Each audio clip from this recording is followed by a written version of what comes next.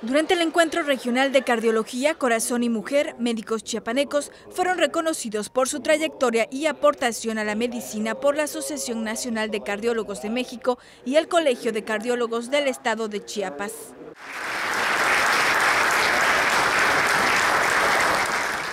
Otro médico distinguido fue el especialista Noé Colmenares por su ardua trayectoria académica.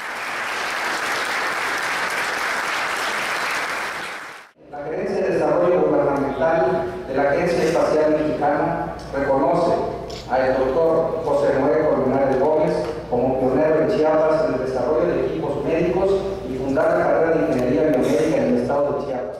Ingeniería que oferta la Universidad Politécnica de Chiapas, quien se sumó a este reconocimiento. Durante el evento recibió dos galardones más y llamó la atención saber que fue el médico que estuvo encargado de la salud cardiovascular del Papa Juan Pablo II durante su visita a Chiapas.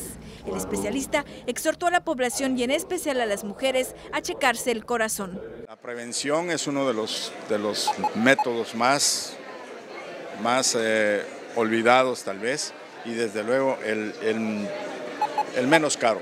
Entonces prevenimos y tenemos buenos resultados. En la cámara, Freddy Velázquez, Ana Luisa Quijano, 10 Noticias.